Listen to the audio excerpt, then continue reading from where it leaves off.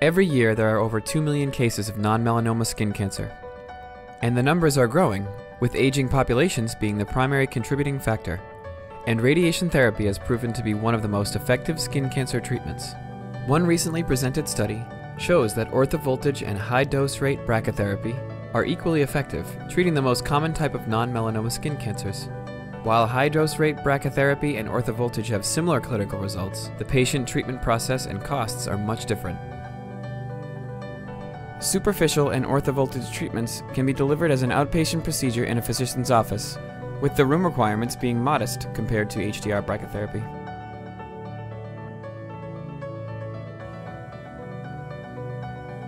The radiation source used in HDR brachytherapy requires wall shielding that is 4 to 8 times higher than a superficial or orthovoltage treatment room. And HDR brachytherapy requires a more complex room design to isolate the radiation source during treatment delivery and to protect against system malfunction. A superficial or orthovoltage treatment takes only a few minutes.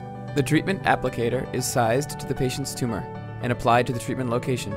The clinician leaves and activates the system, and typically within 5 minutes, the patient's treatment is complete.